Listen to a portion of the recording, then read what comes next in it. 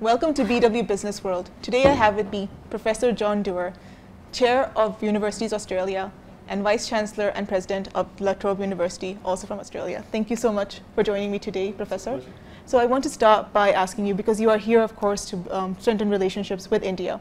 Why is it so important for you to have this international relationship? And what has Australia kind of done in the past to kind of strengthen this? So maybe I could begin by setting the wider context for the relationship between Australia and India.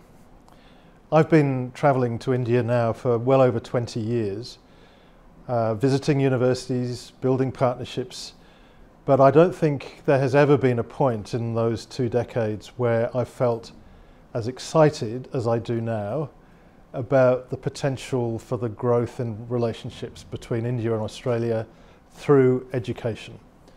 So with the national education policy and the recent signing of the free trade agreement between India and Australia, I think we're on the brink of a really historic period of deepening and growth in the relationship between the two countries through education.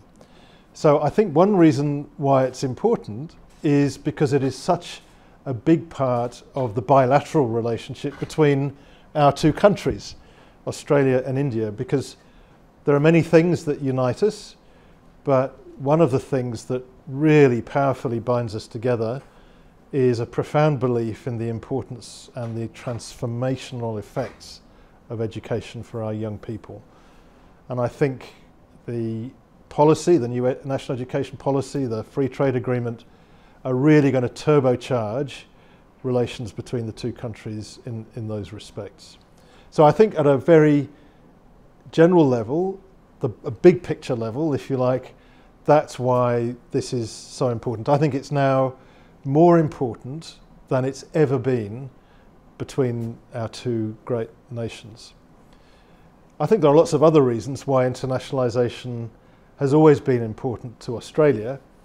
Um, it's important for our students uh, that they are exposed to different cultures, to different ways of thinking, different ways of solving problems, because increasingly our students will find themselves working in very multicultural workplaces, especially in Australia, which, as you know, uh, has a long history of waves of migration from different parts of the world, from Europe, uh, from Asia, from South Asia.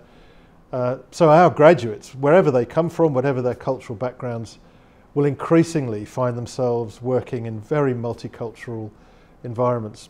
And for international students who come to Australia, they will find the same thing. They will find that when they go home, if they do, or if they stay in Australia, if they choose to, that they will need those cross-cultural skills. And studying in classrooms or uh, laboratories, in practical classes with students from a variety of cultures is very educational in and of itself and very enriching, I think, for the students.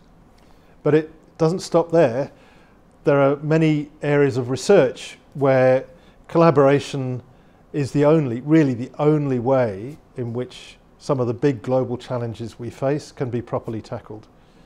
Um, take COVID, for example, just a you know random recent example, but the development of the COVID vaccines uh, really required almost unprecedented collaboration between universities and research institutes, as well as the, the big pharmaceutical companies around the world. And scientists in different parts of the world contributed different elements to the solution that eventually led to the very successful vaccines, I mean, incredibly successful vaccines that uh, we've seen in the last couple of years. So that's one example of why internationalisation of research collaboration is so important. But if we come back to the India-Australia relationship again, one of the ambitions of the national education policy is to build the capacity of India's own institutions and to achieve that 50% target. Very ambitious target, astonishingly uh, ambitious target, but one that's achievable, but will only be achievable through the friendship and collaboration of nations like Australia, who can contribute to the capacity building and the capacity provision um, for uh, uh, India to meet that 50% target. So I could go on a very long time about this, but this is so important for both countries and for research, for global research addressing global problems, um, and for individual universities and the students who study in them. Absolutely. Thank you so much for summarizing that so well. And you're right, there's so many benefits of internationalization, but um, these are the core ones that you are focusing on now, and thank you for sharing that with us. Now, I do want to ask, you know, it, it has been a common practice for universities to try to attract foreign students, and, you know, that was definitely the trend beforehand, and now what we're seeing more of is, like, like you mentioned, these collaborations of universities working with each other and working on, on these exchange programs for students and for, you know, faculty even. So now that you have sort of embarked on these collaborations, what are you hoping to aim in the long run? Well, we have a number of existing collaborations with Indian universities and IITs, uh, which are very exciting and they uh, are helping us to achieve all of the objectives that I described earlier. Um, you're right that historically the relationship between India and Australia has been largely defined by the number of Indian students travelling to Australia to study. But I think what we're seeing now is a complete transformation of that pattern. Uh, we're seeing Australian institutions like mine really keen to develop research collaborations, to run joint PhD programs, um, to run more activities in country, in India, um, whether they're joint programs, uh, pathway programs, one plus two or two plus one or whatever it is, the, the range of uh, opportunities now open to us to collaborate and to do things together, I think, is unprecedented. Um, so, what are, what are our ambitions? We want to be recognised as one of Australia's leading universities uh, and for the contribution we can make to the Indian higher education system um, and to help the Indian government and the Indian nation achieve those very ambitious aspirations in the national education policy. So we're, we're pursuing this in a number of different ways. We have many existing partnerships ranging from uh, IIT Kanpur, for example, where we run a lot of joint research projects, um, all the way through to Amity University here in, in, in Noida in Delhi, uh, with whom we have very deep, long-standing partnerships. So we, we're really excited about what lies ahead of us uh, and the potential for this relationship. Absolutely, and I can imagine that there's a lot of like work and preparation that has kind of gone into sort of making before you even got to the stage of like signing these um, um, agreements. Yes. Uh, so can you share a little bit about what kind of policies and arrangements you have in place right now in Australian universities? Yes, so we have had a presence here in Delhi for many years, um, and it's a sign of our commitment to the relationship that our office here in Delhi now has more than 20 staff. It's uh, a big operation in and of its own right. And that's been a really important bridge for us from our home in Melbourne uh, into India. Um, the team here do a lot of work to support the collaborations we have with universities and IITs. Um, they do a lot of work to support our engagement with industry partners like Infosys, for example, with whom we do a lot of work in the area of smart cities research. Um, so we've, we've put in place a number of different strategies and we've made a number of different investments over, the, over many years that have supported uh, this partnership. And I think the important thing, certainly from a La Trobe point of view, is that this hasn't happened overnight. You know, we have had deep partnerships here in India for over 25 years.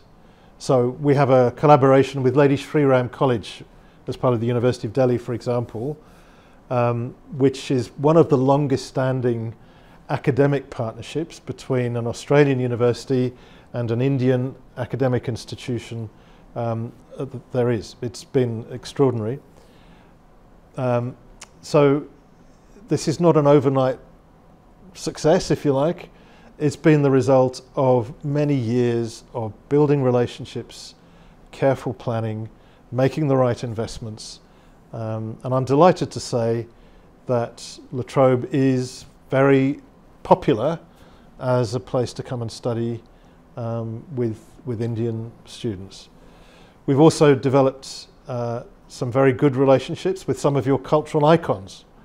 So Shah Rukh Khan, for example, um, is a very generous sponsor of a PhD scholarship that, um, at his request, we offer to young Indian women who want to come and do a PhD at our university.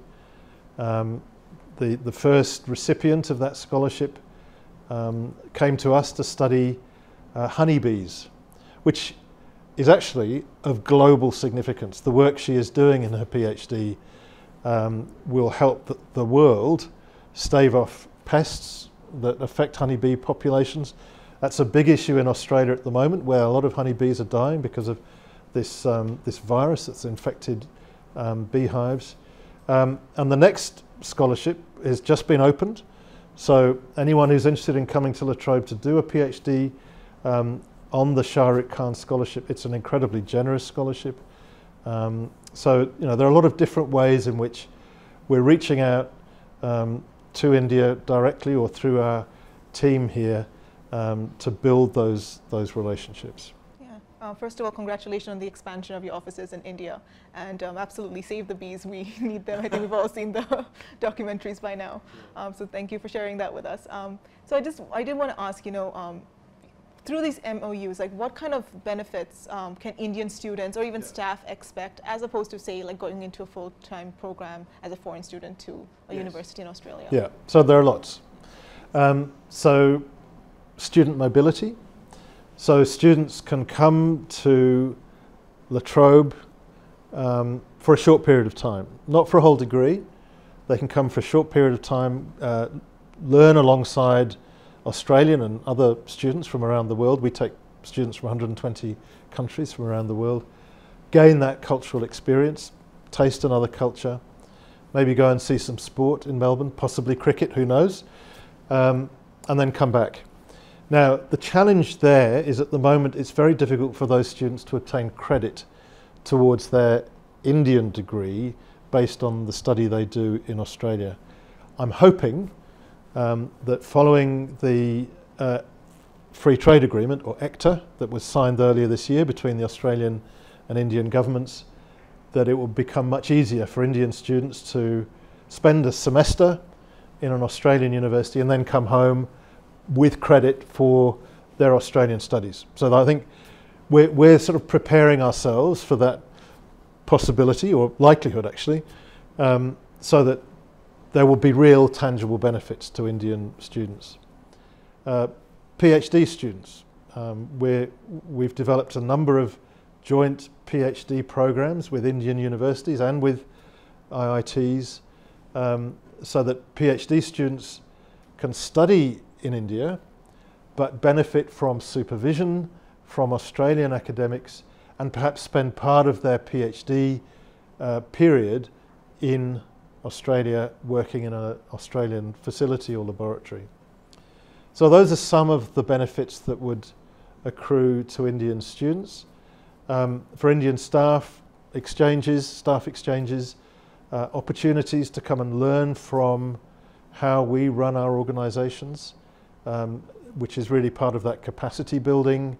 And PhD students, for example, um, who are studying uh, under one of our joint arrangements with an Indian university or with an IIT can benefit from uh, being able to study and do their research in India. They won't have to relocate or to travel, but will have the benefit of an Australian supervisor contributing their expertise and their knowledge.